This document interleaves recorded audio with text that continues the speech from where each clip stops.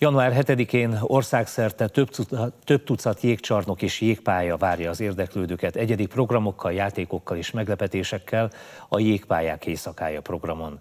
Erre az alkalomra az Alegerszegi jégarénában is készülnek. Szombaton jégdiszkóval és hosszabbított nyitvatartással 17 órától 22 óráig fogadják a korsajázni vágyókat.